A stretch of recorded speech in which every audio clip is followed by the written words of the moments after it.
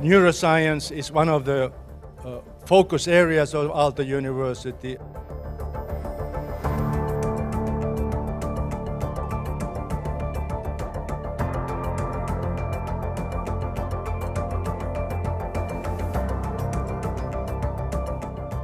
Going to submillimeter spatial resolution in structure, function and connectivity in vivo, when you can actually observe the function of the brain, makes a big difference, a difference that can really count for how we understand how a brain can work. 7 Tesla is a game changer.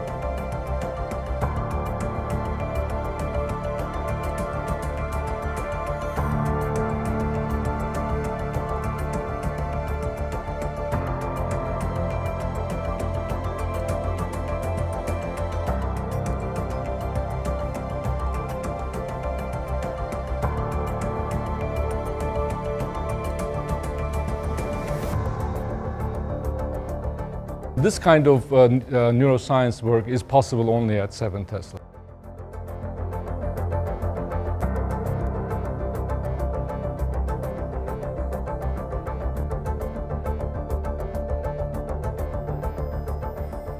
Seven Tesla really shines, as Bob said, for sub-millimeter acquisitions. Uh, the rest of the time, it's a fantastic research scanner. You know, I think that uh, then it makes a lot of sense to have something like this. Therefore, alert staff at 7 Tesla really valuable. Well, I don't think you will drop out of MR business uh, because there is still a lot of work to do at 3 Tesla for clinical applications and uh, there's development that is happening all the time. But you will drop out of uh, you know, advanced neuroscience business with MR. Yeah, I'd have to agree. I Agree. Completely. Absolutely. I mean, you, you, you guys, you need to have an ultra high field uh, system. It doesn't necessarily have to be 7 Tesla, it can be higher than that. To be in the Champions League, um, you've got to have a 7 Tesla scan. Let's push together for the 7 Tesla magnet. I think the time is right for Finland to take the next step.